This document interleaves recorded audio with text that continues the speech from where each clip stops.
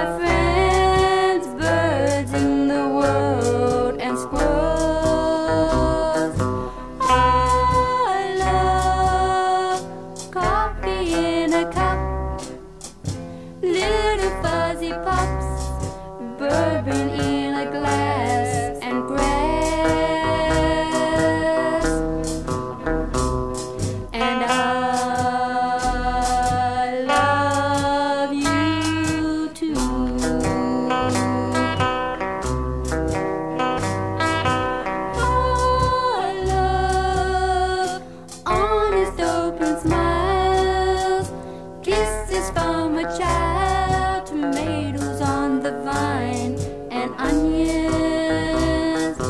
I love winners when they cry, losers when they try.